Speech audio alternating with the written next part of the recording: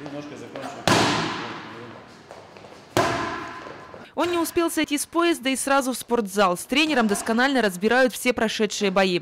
Ренат Мамаев только что вернулся из Франции с отборочного этапа первенства мира по савату.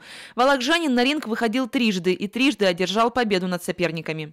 Ренат, давай! И был итальянец, марокканец и украинец.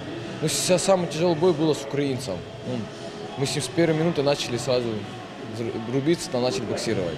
Самый тяжелый соперник он был.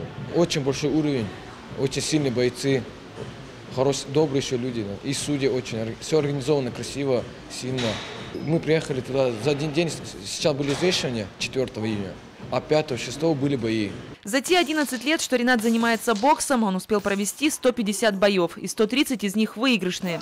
Саватом юноша увлекся чуть больше года назад, но даже такого короткого срока хватило, чтобы удивить и родных, и друзей, и, конечно, своего тренера. Мы вообще очень давно знакомы, и когда он был маленький, тоже ездили на соревнования по кикбоксингу, по боксу.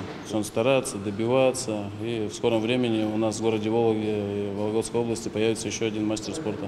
Нам нужно провести еще огромную работу, отдыхать некогда, расслабляться некогда, так что будем работать, двигаться в заданном направлении. Освоить азы Савата Ренату было несложно. Он с детства знает, что такое борьба.